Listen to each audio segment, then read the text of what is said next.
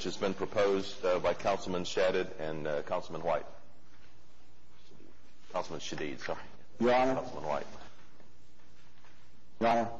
Yes, Pat. Uh, I'd like to make a comment on this. I don't feel overly strong about this, but I think this resolution may be unnecessary. And I've been on the council for six years now, and I've never heard a councilman ask for a deferral that had a good reason attached to it that was ever disapproved. So I think this this goes a step beyond what we really need to do. The second aspect that concerns me a little bit is the automatic aspect of the uh, uh, request for deferral. I think uh, anything that's automatic raises the potential for abuse to go forward. And for those reasons, I would be opposed to adopting this ordinance. All right. Comments or questions? Well, in response to that, I think Councilman Shadid had a good reason to ask for a continuance two weeks ago. What we're trying to do, what the effort is, is to try to make this um, a little bit less personal, a little bit um, formalized, so that other people don't get to decide whether I have a good reason or not. Historically, this council has let me decide whether I had a good reason or not for a continuance. That's been the way it's done for 25 years here. If I said I needed a continuance, or if Larry said he needed a continuance, or if Pat said he needed a continuance, there wasn't a challenge to whether or not what my motives were or whether I had a, quote, good reason or not. It was just automatically done as a matter of courtesy. We're now meeting every other week. So the idea that delaying something a week, uh, we're delaying everything a week, or every other uh, docket is delayed a week by the fact that we go on a summer schedule. So a one-week delay, based on courtesy, to me, I'm just hard-pressed to find a good reason that anyone would vote against it.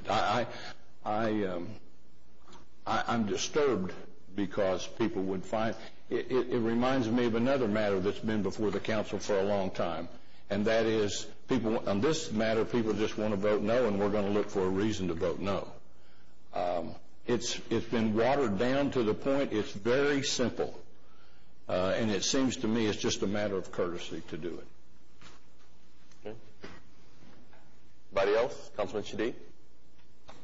Well, I'm not sure that there's ever going to be a good time for this, but I just want to relay that the purpose of it is to is to delay conflict. I mean, I may be pouring gas on the fire right now, but um you know, one of the cardinal rules in conflict resolution is if there's a matter of contention, which is subjective in nature, and which there's repeated conflict, then the parties should agree to a policy in writing and refer to that document rather than repeatedly engaging each other. And we've had multiple. We've had four council meetings in which we're talking about whether to have a continuance or not. We've had people voting against continuances with as many as three councilors asking for a continuance. We've had reports in the media.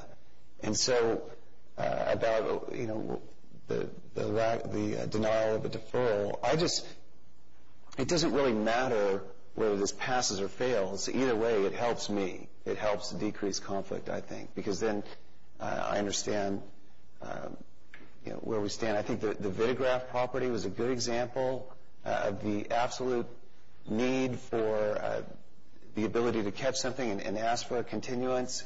We did that in May. Um, it's now August, and they're still uh, negotiating with the city over a financial matter that, frankly, I think should have been resolved before it came to the council. That was supposed to all be wrapped up long ago. We came up with a three-hearing resolution uh, to try and address that. Um, it was clear that that didn't have support, so we we have whittled it down to its most anemic, uh, uh, least common denominator state, based primarily on the comments that were made at council on May 31st. Um, Pat said there's a clear avenue to do exactly what Councilor Shadid wants to do without adopting a resolution, and that's to ask for a deferral. Meg said we have a process in place. We have the ability to defer any document we want, and I don't see the system is broken. I don't see the need to fix it. With something that's place-specific, all you need to do is continue it. You don't need to have three hearings. You can just defer it for as long as you need. Gary, the system we've been uh, using has worked very well for years and years. Now, if you have questions or you want to change something or you don't like what's in that document once you see it, I've never known that we haven't deferred it when it has been requested and deferred it multiple weeks if we need to hash it out, which we've done, and there's nothing wrong with that. I don't have a problem with deferring anything that a council member doesn't feel comfortable voting on if they have a reason that they saw something. Again, I, I can live with however this vote goes. If it, if it passes, then I know I can get a continuance. If it fails, I'm not, and I can't get back, I'm in Boston, I'm not going to call Jim Couch and Pete White. I know that if I, if I spend a good amount of my vacation getting ready for a council meeting and I want to be here, I just need to get here. I don't need to, to do, it, helps me understand the ground rules. And because of the, the differing, um, I, just need to, I just need to know the ground rules. My, my goal is to maximize transparency, to give maximum critical evaluation of the contracts and the methodology of the studies that we're using and to maximize public awareness and deliberation. Being able to get a continuance like this would, would be a tremendous help. Uh, it would be an inconvenience if I can't, but it's, it's not it's not the only way uh, to get that information out, and, and, and I, can live with however the council votes. Thanks. It, just seems to me, but Ed and Pete, either one of you can answer, it just seems to me to, to limit council discretion, and our charter is so designed on council having discretion.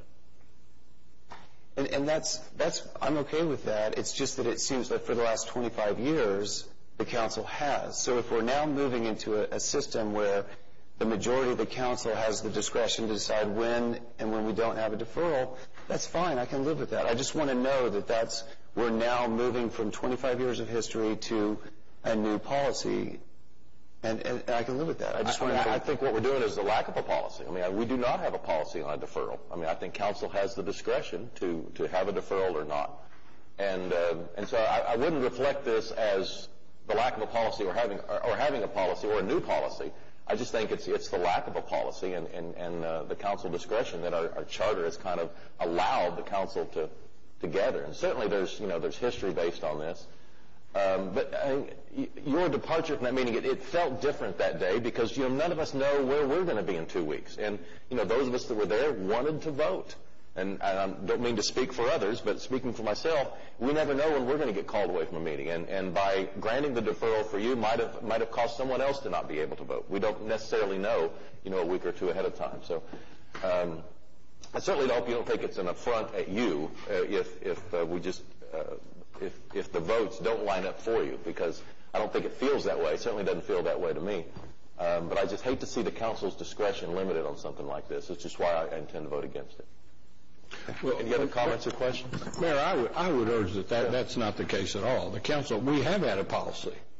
We have had a policy, and we're, we're now changing, we're now very formally changing that policy. We're now saying you've got to get five votes every. You got. You have to be concerned about that. We've never had to do that before. I mean, literally, never had to do it before, ever. But we've always. And if you say you want to make it, you don't want it to be personal.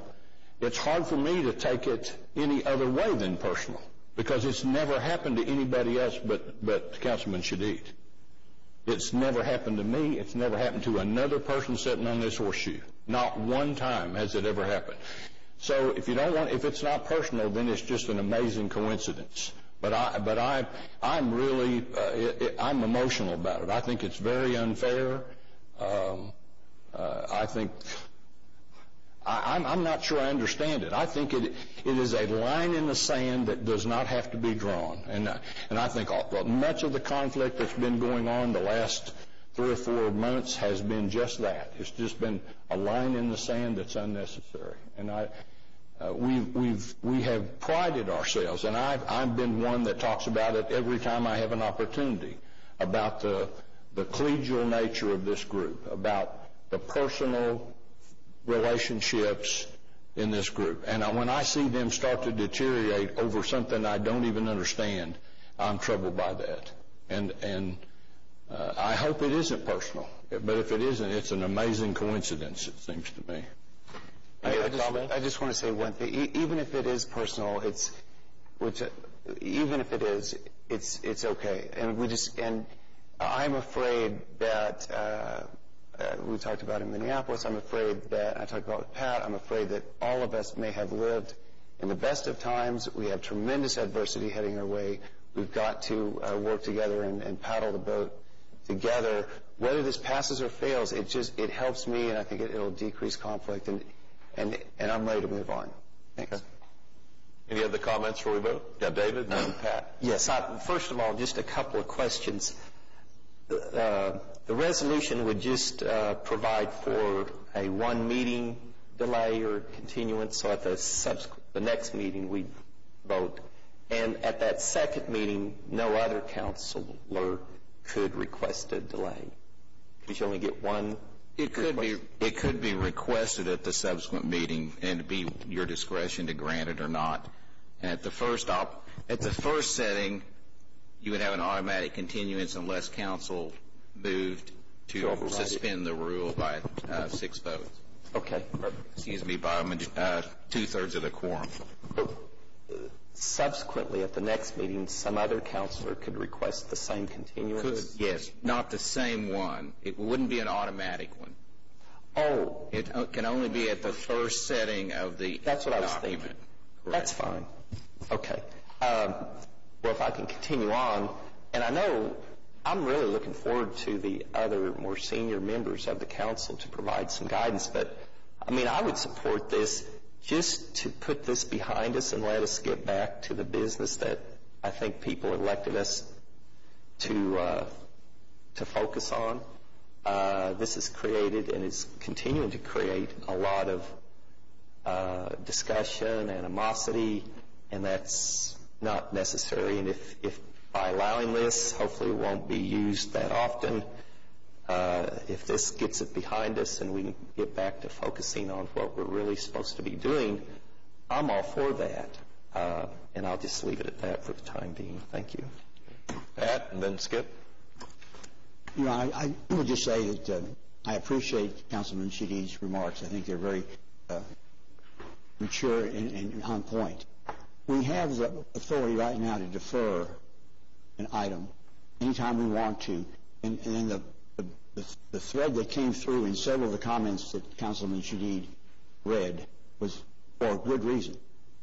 And I think that's important. I think if we defer something, there ought to be a reason for that, deferral, not just because it's, it- automatically can put it off for a week, because I think that opens the door, as I said earlier, for abuse.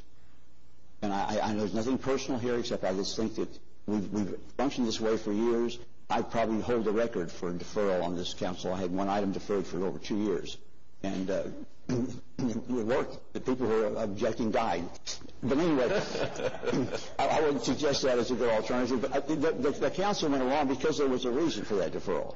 We had traffic studies to do. We had an opportunity to negotiate a possible settlement. And so there was valid reasons for that deferral. And I think we've, uh, the council's always been willing to consider valid reasons for deferral. And when I've made a motion for that, we explained the reason why, and the council went along with it. So I think that mechanism is available, and it's been used frequently, and it's a standard practice we've had for years around here, and I think we ought to continue that. All right, Skip. Well, first of all, I would like to thank uh, Councilman Greenwell in reference to his comments because I think that goes directly to the heart of this issue. I'm sorry. Apologize. I would like to thank uh, Councilman Greenwell in his comments because I think it goes directly to the heart of this issue, and, and we all have uh, unfortunately suffered a, great deal of, controversy, uh, negative as it may be. It has been real that what happened here several weeks ago was something that was unprecedented. And press can't change it. The citizens can't change it. The only body that can change what happened and make the days go better from here on out is us. Whether or not you call it personal, whether or not it's about, you know, uh, when you ask for a continuance and I may not like it, you know, to me that's all downsizing the issue. This issue blew up in a way that, you know, was just, you know, it, was very unfortunate for all of us. But we did it. We, we created that. And when we talk about this issue of continuances, as, as Councilman Ryan said, and I have been the recipient also, but when it's something that's ward specific, I don't think none of us pay attention to if Councilman Kelly, if it's in Ward 7, he wants to defer this for another, you know, 30 days, 90 days. You know, it's been a respected granting of that continuance, just like Councilman Ryan. If he continued something, deferred something for a year, that's in his ward. It's something that is mindful to him, and he has oversight over it, and the citizens in his district and his ward is coming directly to him.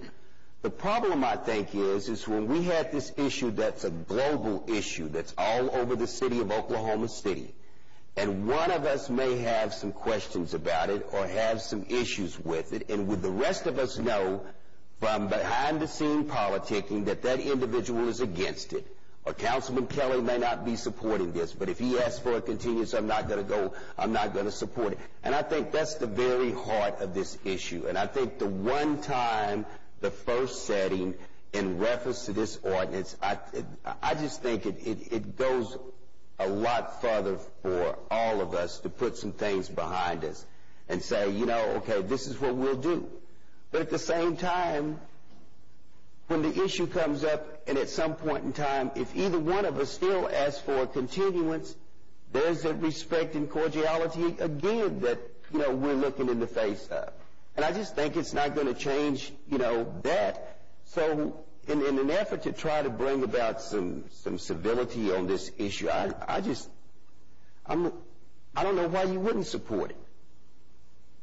If we're talking about moving forward in a way that we can all work together and have some harmony and stop bickering over a little issue about whether or not this councilman asked for a continuance and you know that his reasoning, your back of your mind is the reason why he's asking for a continuance is because he wants to investigate some more information about an issue or you feel like that he don't support it, so you're not going to give him a little bit of support by allowing for the continuance. And I just think that it's all about, you know, those type of issues. If it's Ward Pacific, if it's in Ward 6, if it's in Ward 7, Ward 8, none of us is going to sit here and challenge each individual councilman about an issue in his or her particular ward. I haven't seen it one time since I've been here on this council. Not one time. And I think this is a way that we can put some global, you know, uh, softening to this whole issue and, and, and never have to really bring this issue back again. All right, any other comments or questions? Yeah, Larry? I wasn't going to say much, but David just said he'd appreciate some counsel from somebody who's been around a while. Other than uh, uh, Mick and I have been around uh, this this system the longest. Pete, of course, goes back to a, a previous life when he was very active and very involved. So he's really the senior guy. From my perspective, having been here since 2001, I, I don't think that this is needed, and I'm not going to support it. Okay. Any other comments or questions? All right, Councilman Shadid, do you want to make a motion? Second? All right. Motion is to, uh, on item uh, F for the OCMFA. And the motion fails. Four or five. We'll adjourn the OCMFA, convenes the Oklahoma City Public Property Authority.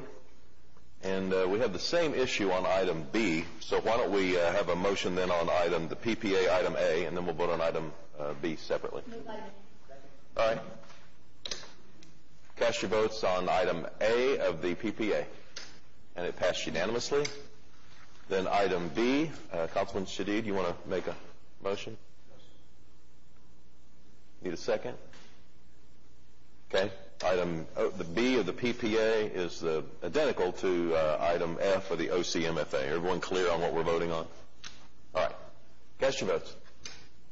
And the motion fails five to four.